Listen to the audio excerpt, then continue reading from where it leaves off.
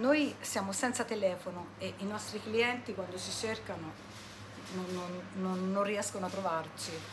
Più c'è internet che non funziona, è una cosa molto importante perché oggigiorno si lavora solo con internet. Noi come attività commerciale ci ha messo in ginocchio. Noi praticamente siamo isolati, quindi considerate che io mando via continuamente gente per discorso POS, non posso visionare un saldo di un cliente, praticamente la nostra azienda è paralizzata. Senza né internet né telefono, da oltre una settimana il paese di Vitiano è paralizzato. Dal 27 settembre circa 80 utenze, famiglie, esercizi commerciali e imprese stanno fronteggiando i problemi della disconnessione della linea telefonica, ma nonostante le segnalazioni la situazione non pare potersi risolvere in tempi brevi. La cosa ancora più grave è che il gestore dell'infrastruttura ha determinato la data di ripristino il, 12 di ottobre, ben 16 giorni.